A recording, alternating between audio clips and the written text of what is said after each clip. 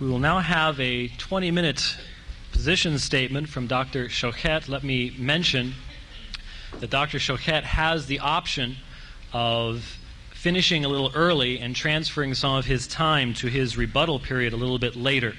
So if he does not use all the 20 minutes, that time will be transferred to his rebuttal period a little bit later on. So, Dr. Schochet, your 20 minute position statement, sir. Before I start and the clock starts ticking, just uh, one comment. Uh, viewers' discussion advised. Uh, meaning that since we all know this is a polemical debate, so obviously certain things will be said that may appear offensive to some, knowing nothing of that sort is intended. We have to just take things as they come and in context. So, just want this to be realized. Where do I start this? Oh, that button here. Okay. there are two basic issues to deal with. Number one, could Jesus be the Jewish Messiah promised in the Bible? Two, can one be a follower of both the Jewish faith and the Christian faith? like a Hebrew Christian, Jewish Christian, Jews for Jesus, or whatever else they call themselves? The answers to both these questions are categorical no's. Why is it impossible for Jesus to be the Jewish Messiah? Mashiach, the Jewish Messiah, is a concept wholly and totally derived from and dependent on the Jewish Bible. For all and any information, one can depend only on the Tanakh, the Jewish Bible. To put it very briefly, there are ten basic aspects read the biblical Mashiach and Messianic era. Number one, Mashiach is a descendant of King David. He's obviously a human being. God has vouchsafed the divinely sanctioned rulership of the Jewish people, the throne of Israel, to David and his descendants forevermore. To be the legitimate successor to King David, therefore, Mashiach must be a direct descendant in paternal line, son after son. For the Torah restricts tribal affiliation and succession to paternal descendants only. Number two, of Mashiach it is said in Isaiah, the Spirit of God will rest upon him, a spirit of wisdom and understanding, a spirit of counsel and might, a spirit of knowledge and of the fear of God. He shall be inspired with fear of God. Number three, Mashiach will come after the children of Israel will sit solitary for many days without king and without prince and without sacrifice. Hosea chapter 3. Number four, the Holy Temple in Jerusalem will be rebuilt to stand forevermore after Mashiach comes, as explained in the book of Ezekiel. Number five, the exiles of Israel will be restored from all the corners of the world to the Holy Land, the land of Israel, as explained in numerous passages in the five books of Moses and practically every prophet. This restoration of Israel is unconditional and will happen even if the people should not wish to return, as explained in Ezekiel. Number six, the whole earth, once Mashiach comes, will be filled with awareness, consciousness, knowledge, and perception of God and godliness. God's Spirit will be upon His people, endowing them all with the power of prophecy and vision. All mankind will worship God in unison. I leave out all the references. If necessary, I'll quote them later on simply to save time. Number seven, oh sorry, part of number six also includes that the Messianic era will be an end to evil and sin. Seven, the Messiah will usher in a permanent era of universal peace and harmony, a veritable utopia throughout the world. Isaiah chapter 2, Isaiah chapter 2, Micah chapter 4, Zechariah chapter 9. Even the animal kingdom will be affected to the point that animals too will live in peace and harmony with one another. Number 8. The Messianic era will witness the eradication of disease, and all afflicted shall be healed. Isaiah 35. Death itself too shall cease. Isaiah 25. Number 9. In the final stage of the Messianic era, there will be a resurrection of the dead. Number 10, there will be marvelous prosperity with an abundance of every kind of produce. Now, not a single one, not one of these prophecies applies to Jesus, both according to the well known Jewish tradition, which rejects Jesus categorically, as well as according to the admission of the New Testament. For, number one, according to the New Testament, he was not a paternal descendant of David. And in Judaism, as said, it is only the father who determines tribal affiliation and succession. The mother determines the religion, the faith of the child, but not the tribal affiliation, as stated explicitly in Numbers. Number two, he did not come after Israel was without sacrifices, a holy temple, exiled to all corners of the world. Number three, the earth has certainly not been filled with the knowledge and perception of God since he came. Nor does all mankind worship God in unison, nor is there an end to evil and sin and warfare, nor is there universal peace and harmony among men and animals or an eradication of disease and the resurrection of the dead. In fact, the world has never seen so much warfare, bloodshed, suffering, confusion, inhumanity, etc., as since the coming of Jesus, and very much, if not most, unfortunately, in his name. The idea of a second coming is a sheer invention without any source whatsoever, and contradicts even the words of Jesus himself, who promised that the messianic age and redemption would be in his generation. Matthew, uh, repent, for the kingdom of heaven is at hand. As there be some standing here which shall not taste of death till they see the Son of Man coming in his kingdom. The time is fulfilled and the kingdom of God is at hand. This generation shall not pass till all these things be done. Uh, little wonder then that his last words on the cross, according to John, uh, was were words of disappointment and resignation when he said, "It is finished," and bowed his head and gave up his spirit. According to Matthew 3, John the Baptist made the same prediction, and it's also found in Revelation to show unto his servants things which must shortly come to pass, things which must shortly be done. Behold, I come quickly. The time is at hand. So obviously, it was not meant even by the New Testament in terms of a second coming. Number four, Moshiach is supposed to be a man with the Spirit of God upon him, a spirit of knowledge and the fear of God. He shall be inspired with fear of God. Righteousness shall be the girdle of his loins. Unfortunately, Jesus did not live up to this, as according to the records of the New Testament and Jewish records, he was a contentious and witting transgressor and denier of God's laws and commandments and Jewish tradition. To wit, A. He condoned the capital offense of his disciples, violating the Sabbath as recorded in Matthew chapter 12, and in fact publicly violated the Sabbath himself on several occasions, as recorded in Matthew chapter 12, Luke chapter 13, and Luke chapter 14. B.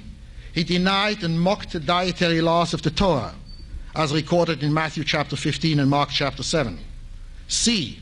He violated and mocked the need for ritual washing of the hands, as recorded in Matthew chapter 15, Mark chapter 7, Luke chapter 11. D.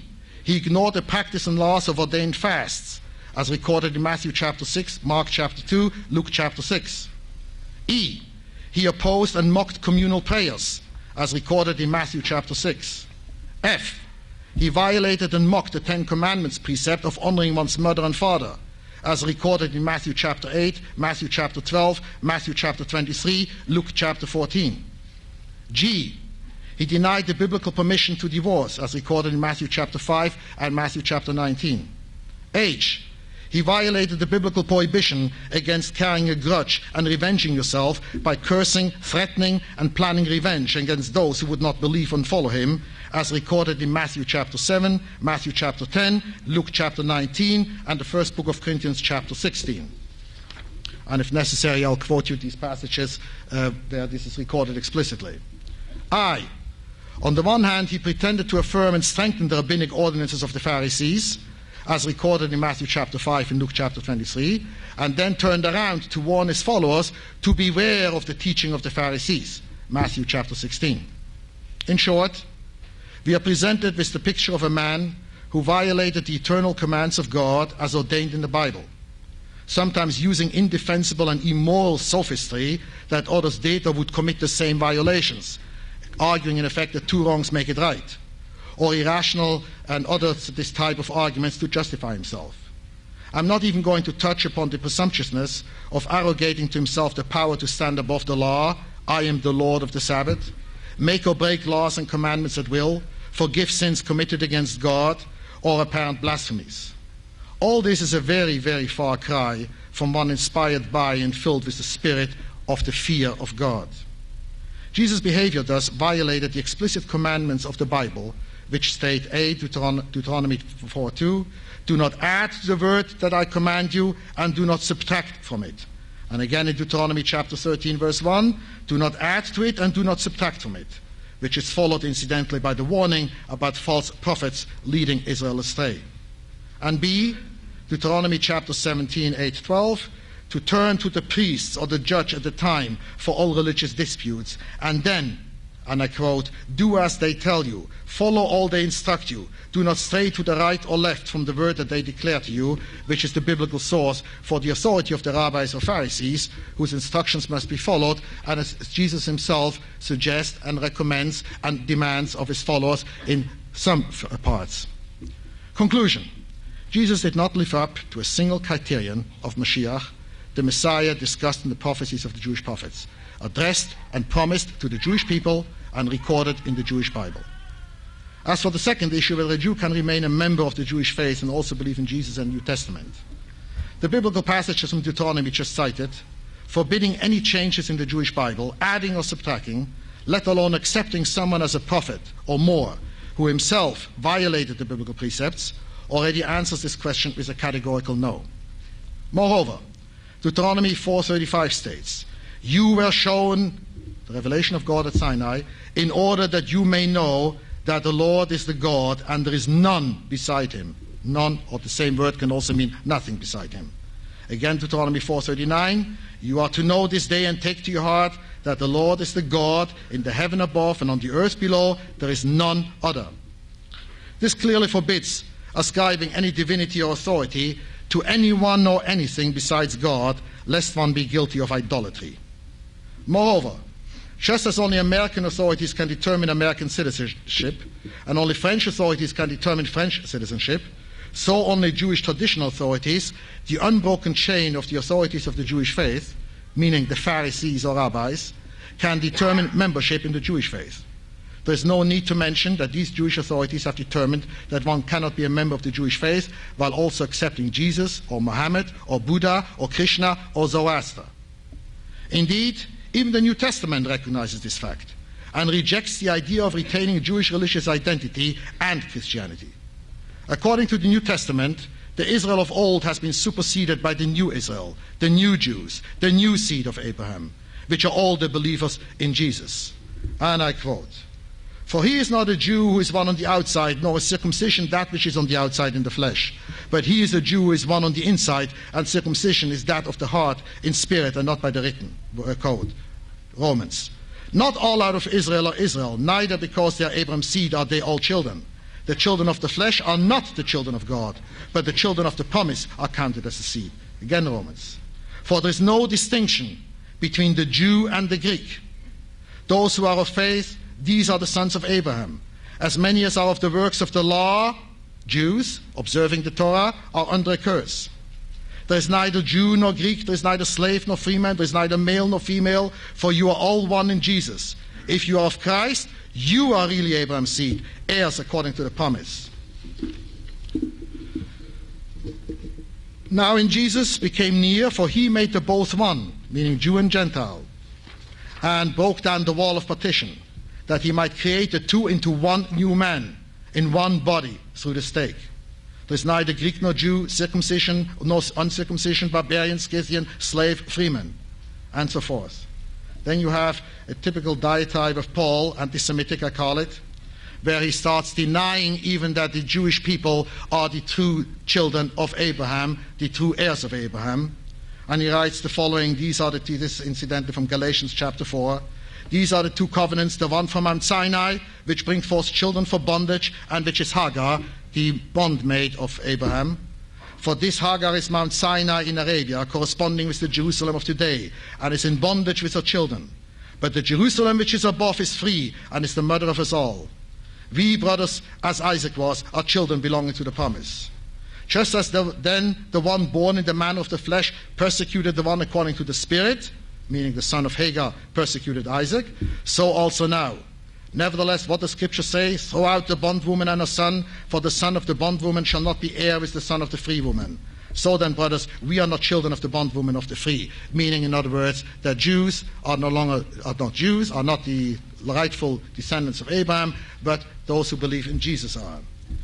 The very idea of Hebrew Christians as Jews for Jesus, who would retain some Jewish religious identity, therefore, stands in direct contradiction contradiction to both Judaism as well as the New Testament. Indeed, the New Testament goes so far as to say that real Jews have nothing to gain from accepting Jesus. If you are circumcised, Christ shall profit you nothing. I bear witness to every man that is circumcised that he is a debtor to do the whole law. Galatians chapter 5. So if you had the misfortune that at eight days old you were circumcised, forget about Jesus. He's not going to help you anything. Moreover, if you're circumcised, like it's just quoted, Christ shall avail you nothing. If righteousness is through the law, Christ really died for nothing. This man can no longer be righteous through the law. Though those who adhere to the law are heirs, the faith has been made void and the promise ineffective because the law produces wrath. For all those as are of the works of the law are under a curse. Moreover, listen careful. The law is not made, meaning the Torah, the laws, the commandments of the Bible, God's eternal commandments.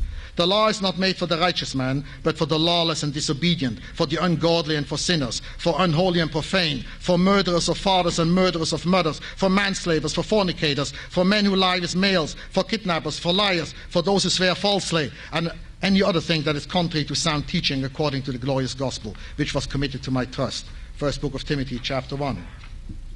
Thus, even by New Testament standards, it makes no sense to speak of Jewish Christians, Hebrew Christians, Jews for Jesus, or whatever they like to call themselves now, Messianic Jews. These groups pretending to be Jewish and trying to fool themselves and others by observing certain Jewish laws, customs, and practices, thus violate the New Testament passages which I just quoted, which declare categorically that, as said, that if righteousness is through the commandments, through the observance of Jewish customs and practices, Christ really died for nothing.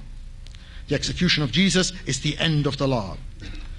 It follows then that not only from Jewish tradition, but even according to the straightforward teaching of the New Testament, without interpreting, just reading what it says, not taking out of context, just the words as they are, the concept of Jewish Christians, Messianic Jews, Jews for Jesus, etc., makes as much sense as square circles, Jews for Zoroaster, kosher pigs, Christian Muslims, Christians for Krishna, and all other such oxymorons. Thank you.